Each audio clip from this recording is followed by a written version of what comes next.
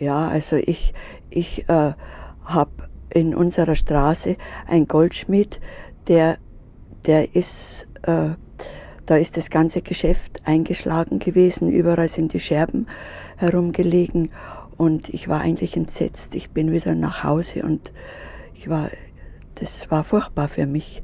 Und eigentlich, weil wir waren äh, eine große Familie und wir sind da nicht immer so in der Stadt rumgekommen, bloß im unmittelbaren Wohnbereich.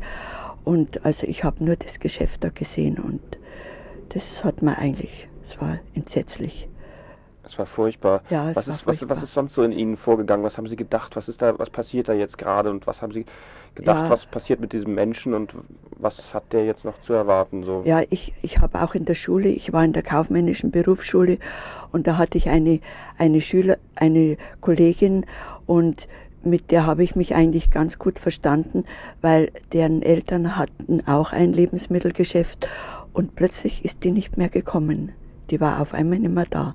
Und dann hat man so gemunkelt, das war jüdische Familie. Das war also auch furchtbar für mich.